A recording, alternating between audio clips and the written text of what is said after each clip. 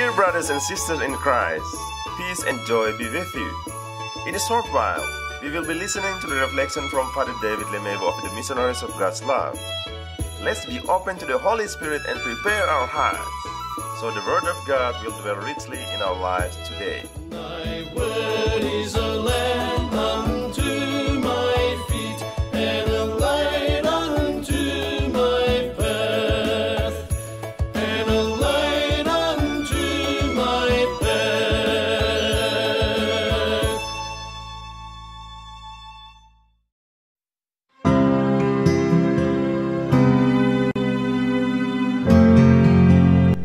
Teacher, which commandment in the law is the greatest?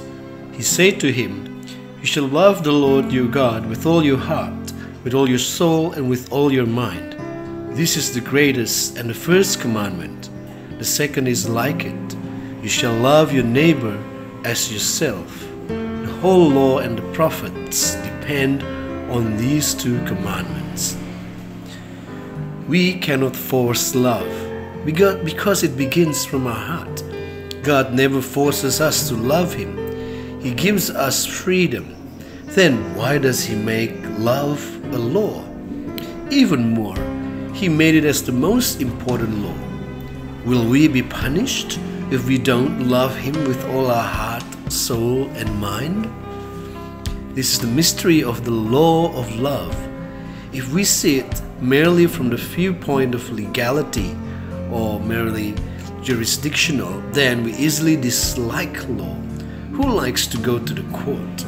Who enjoys being punished for every small mistake? Who likes to be ruled over, especially about love? Love is God's commandment and law because God is love. In every house, city or town, kingdom and nation, there is law as its foundation. The law of love becomes the most basic principle or blueprint, just like a constitution or Magna Carta in the kingdom of God. Have you ever felt when you truly love, you discover who you really are? We are created in love, by love, and for love. Love gives us the fruits of the Holy Spirit, the Spirit of love, like happiness, peace, goodness, generosity, holiness, faith, and hope. Living without love is already a punishment because without love, life will slowly die, just like a tree without water. Who can keep living in complete chaos, evil, war, sadness, and hopelessness? We cannot live without love. God does not punish us. In fact, we bring ourselves the punishment that makes our souls die without love. Love begins with our own selves, then loving our neighbors whom we can see, and finally loving God whom we cannot see. It's impossible to love God if we do not love our neighbor. It's also impossible to love our neighbor if we do not love ourselves. Can we measure how deep love is? Surely not, because God is the measure of love. Jesus said that there is no greater love than someone who sacrifices his or her life for his or her friends. Jesus sees us as his friends.